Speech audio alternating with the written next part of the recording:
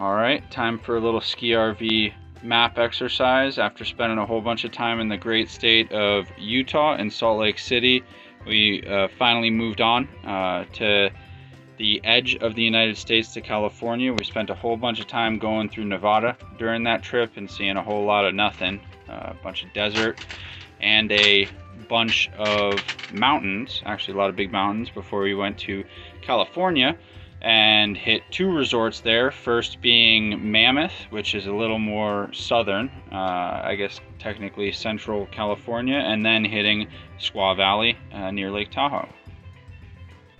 The trip up from um, Mammoth to Squaw was uh, around four hours. This says three hours and 37 minutes, a little longer for us in the RV. We stopped along the way for uh, a dinner break in a uh, park in a small town uh, Lake Tahoe, and then we went all the way up to um, find a spot up near Squaw to uh, park for the night. So actually for the night we uh, did spend a few hours uh, at the train depot in Truckee. It was only about 15-20 uh, minutes from Squaw Valley.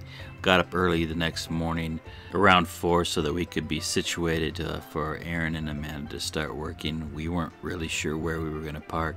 We found a good spot and we weren't moved. Uh, I slept till I was ready to go skiing and Amanda and Aaron worked on East Coast time.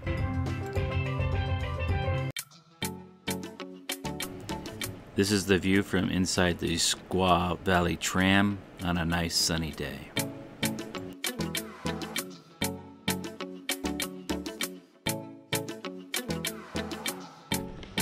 Squaw Valley on a, what is it, Wednesday morning, Aaron? Wednesday morning. Got the sun out today.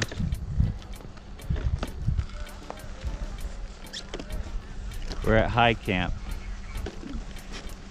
GoPro, stop recording. Like a few of the other resorts that we visited on this trip, Squaw has combined with a, a neighbor uh, resort, Alpine Meadows. We have not or will not be visiting Alpine Meadows on this trip, but it's a little like um, Aspen's uh, four different mountains and um, Snowbird Alta combination.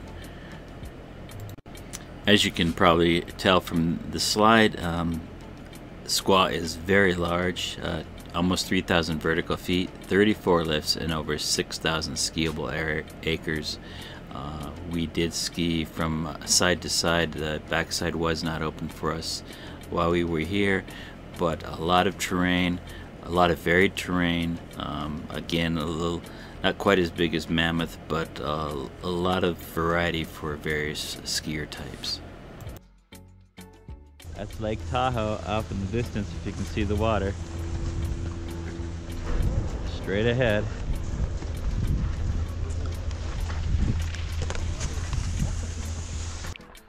Once again, Lake Tahoe right in front of us. Spring skiing today. Early February, well, early-ish February. It's a warm one. Aaron says his new gloves are too hot.